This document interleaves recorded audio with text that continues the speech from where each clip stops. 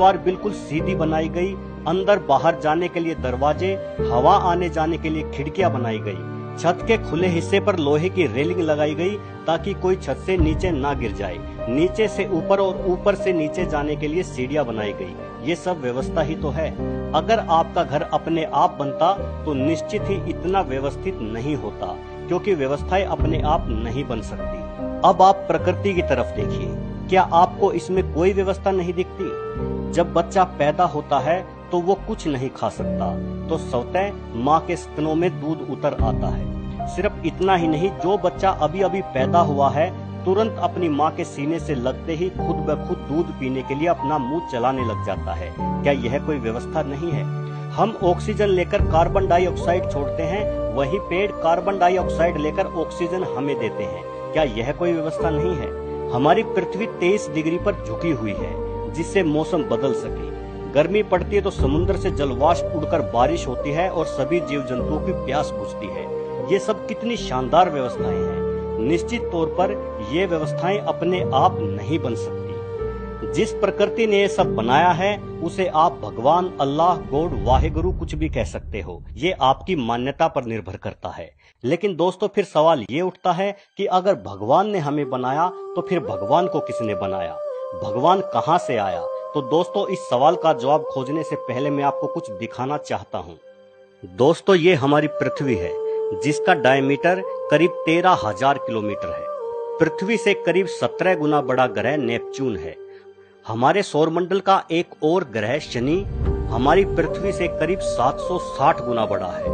उसके बाद आप बृहस्पति को देखिए। ये हमारे सौरमंडल का सबसे बड़ा ग्रह है। ये इतना बड़ा है कि इसमें एक साथ तेरह सौ पृथ्वी समा सकती है। इसके बाद आता है सूर्य। ये हमारे सौरमंडल का तारा है और इसमें समा सकती हैं एक लाख तीस हज़ार पृथ्वी। है ना हमारा सूर्य बहुत बड़ा? लेकिन अगर आप सूर्य की तुलना सीरियस नामक तारे से करें तो आपको सूर्य भी छोटा दिखाई देगा। लेकिन सीरियस सबसे बड़ा तारा नहीं है, उससे भी बड़ा है पोलक्स। लेकिन ब्रह्मांड में पोलक्स से भी बड़ा तारा मौजूद है आर्कट्रस, परंतु उससे भी बड़ा है एल्डेब्रान। और एल्डेब्रान से भी बड़ा तारा है, जिसका नाम राइजल रखा गया है। लेकिन अंत यही नहीं है दोस्तों। राइजल से भी बड़ा तारा, जो हाइपर जॉइंट की श्रेणी में आता है वो है पिस्टल स्टार। और ये सिलसिला ऐसे ही चलता रहता है। पिस्टल स्टार से बड़ा है एंटेरस। एंटेरस से बड़ा है बेटल जीएस। उससे भी बड़ा है वी वाई केनिस मेजोरिस। और इन सबसे बड़ा है यू वाई स्क्यूटी। और न जाने कितने ही अन्य अरबों खरबों तारे सिर्फ़ हमारी आकाश गंगा में है। दोस्तों, यह है हमारी आकाश गंगा मिल्की वे। यहाँ से आप देखोगे तो आपको अपनी पृथ्वी लाख गुना जूम करने पर भी दिखाई नहीं देगी। पर दोस्तों, अभी बात खत्म नहीं होती। ये तो बस शुरुआत है। ऐसी ही न जाने कितनी ही आकाश गंगाएँ जिनमें अरबों, खरबों, तारे, सूर्य, ग्रह सब समाये हुए हैं, इन सबसे मिलकर बना है हमारा ब्रह्मांड। ये देखिए, ये है हमारा ब्रह्मांड। इतना बड़ा, विशाल अथा या आप जो भी कहें आपके शब्द कम पड़ जाएँगे इसकी विशालता और व्यवस्था को बयां करने में। ये है हमारा ब्रह्मांड। खैर दोस्तों, अब हम फिर से उसी बात पर आते हैं कि अगर भगवान ने हमें बनाया तो फिर भगवान को किसने बनाया? तो दोस्तों, इसका जवाब देना नामुमकिन है, लेकिन फिर भी जवाब बड़ा सीधा है। दोस्तों, अगर आप गधे को ये समझाओगे कि थॉमस एडिसन ने बल्ब कैसे बनाया तो वो नहीं समझ पाएगा। अगर आप गधे को ए बी सी डी सिखाओगे तो इन 26 अक्षरों को वो नहीं सीख पाएगा। ठीक वैसे ही इस ब्रह्मांड की विशालता और व्यवस्था के सामने हम गधे हैं। हम ये कभी नहीं समझ पाएँगे कि भगवान क्या है और उसने सृष्टि की रचना क्यों की है। भले ही भगवान ने हमें सभी जीवों से ज़्यादा समझदार बनाया है, लेकिन भगवान ने हमें इतनी समझदारी नहीं दी कि हम ब्रह्मांड के रहस्यों को सुलझा सके। खुद को गदा कहलवाने पर बुरा मत मानना दोस्तों, पर सच कहूँ, मुझे तो ऐसा लगता है कि हम गधे से भी ज़्यादा गए गुजरे हैं, क्योंकि हम भगवान को लेकर आपस में ही लड़ते रहते हैं। हर धर्म के लोग कहते हैं कि मैं अपने धर्म की रक्षा कर रहा हूँ, अपने भगवान की रक्षा कर रहा हूँ। अरे भाई, तू उसकी रक्षा कर रहा है जिसने ये विशाल ब्रह्मांड बनाया? अरे भाई, इस सृष्टि में तेरी हैसियत ही क्या है? एक कीटाणु है तू, कीटाणु। तुझे क्या लगता कि जो पल भर में तुझे खाक में मिला सकता है, उसे तेरी रक्षा की ज़रूरत है? कोई कहता है, यहाँ राम मंदिर बनेगा। तो कोई कहता है, नहीं, यहाँ मस्जिद बनेगी। अरे कीटाणुओं, नहीं ज़रूरत है उसे तुम्हारे मंदिर या मस्जिद की। नहीं आएगा वो तेरे मंदिर में या तेरे मस्जिद में रहने। वहाँ कोई अनाथ आश्रम बना लो भाई।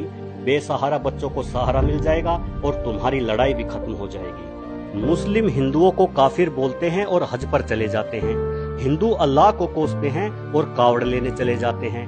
हद है यार। मतलब हद है। तुम उसी की पूजा करते हो, उसी की फरियाद करते हो और उसी को गालियाँ भी देते हो। भगवान गॉड अल्लाह वाहेगुरु, पता नहीं ये है भी के नहीं, लेकिन अगर ये हैं तो ये सब अलग अलग नहीं हैं। ये एक ही इकाई के नाम है जो कि तुम लोगों ने रखे हैं। उसने कभी अपना नाम नहीं बताया।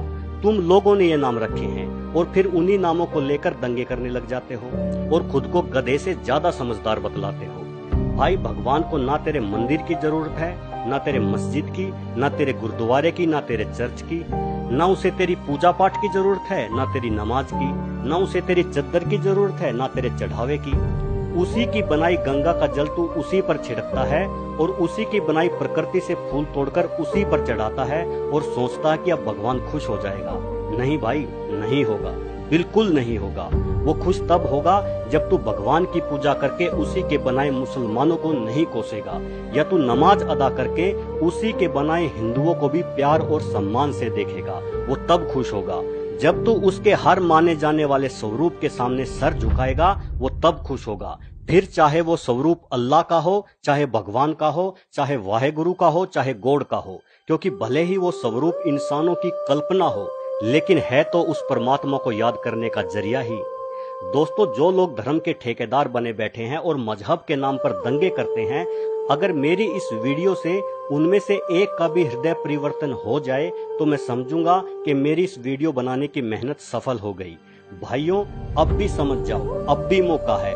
नहीं तो ये स्वर मान्य सत्य है कि जिसके नाम पर तुम झगड़ा करते हो, एक दिन जाना तो आखिर उसी के पास है। कैसे जाओगे? क्या मुँह लेकर जाओगे?